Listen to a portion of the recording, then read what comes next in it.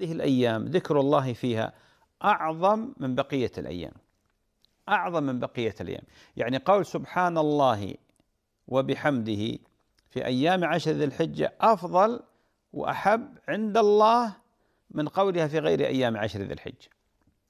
أفضل من قولها بعد الحج. مع أنه عظيمه هو ذكر لله وعظيم. لكن أنك تقول في هذه الأيام أفضل وأعظم عند الله سبحانه وتعالى. هذا فضل من الله عز وجل. هذا موسم هبة من الله ومنحة من الله وهدية لنا. هذا الموسم يضاعف الله عز وجل فيه الحسنات. ولذلك الصلاة في أيام عشر ذي الحجة أفضل من الصلاة في غير هذه الأيام بمعنى النفل المطلق. فمثلا تصلي الضحى. كم كنت تصلي الضحى سابقا؟ ركعتين خليها أربع. أو ست أو ثمان أو عشر أو 12 مثلا.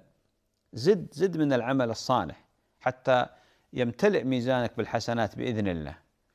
آه، كنت تصلي الليل تصلي في الليل كم ركعة؟ تصلي ثلاث ركعات توتر مثلا خليها 11 ركعة مثل صلاة النبي عليه الصلاة والسلام. وزد في القراءة أيضا. عندك بين المغرب والعشاء هذا أحيانا وقت مثل ما يقول بعض العوام يقول هذا وقت ميت. لا مو ميت ما في وقت ميت عندنا. الأوقات كلها حية لكن الذي يميتها أنا وأنت حينما نهمل ونفرط في مثل هذه المواسم. عندك بين الظهر والعصر. هذا وقت حي للصلاة. اللي الإنسان مثلا أحب إنه يصلي يصلي ما شاء. لو أنه قام من بعد الظهر إلى أذان العصر في صلاة فهذا عمل طيب وصالح.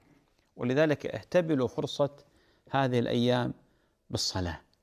والصلاة لا يخفاكم بأنها من أجل العبادات ومن أفضل الطاعات ومن أعظم القربات عند الله سبحانه وتعالى.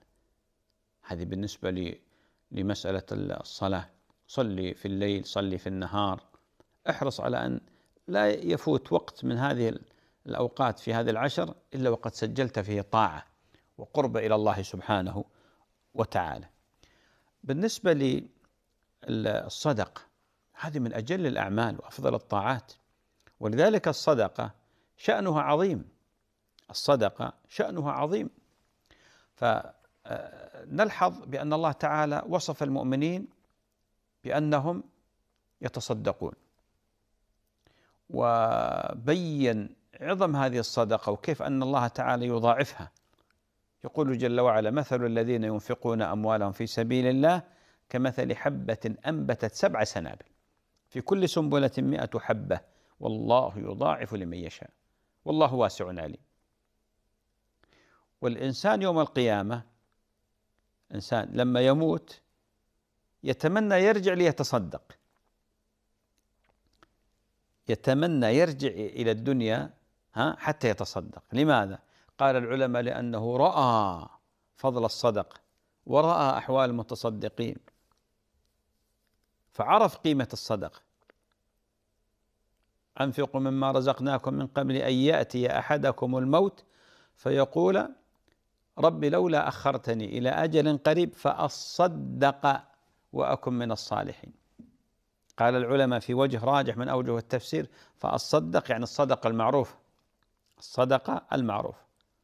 ولذلك إخواني وأخواتي بارك الله فيكم هذا موسم عظيم من مواسم الصدق.